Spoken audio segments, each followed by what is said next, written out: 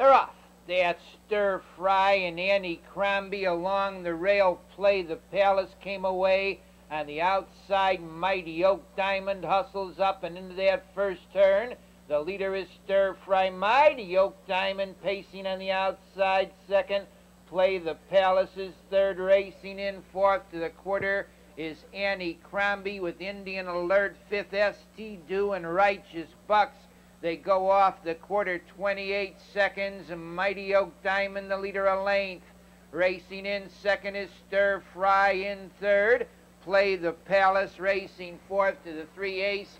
Annie Crombie coming on Indian Alert fifth on the outside sixth. Righteous Buxton trailing the field. ST Do.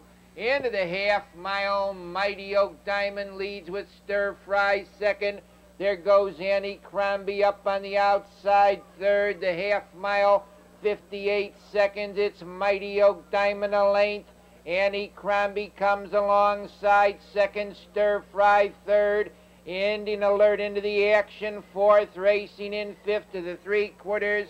Play the Palace on the outside, Righteous Bucks with ST Do, the final three eighths of a mile. Mighty Oak Diamond a half length off stride is Indian Alert.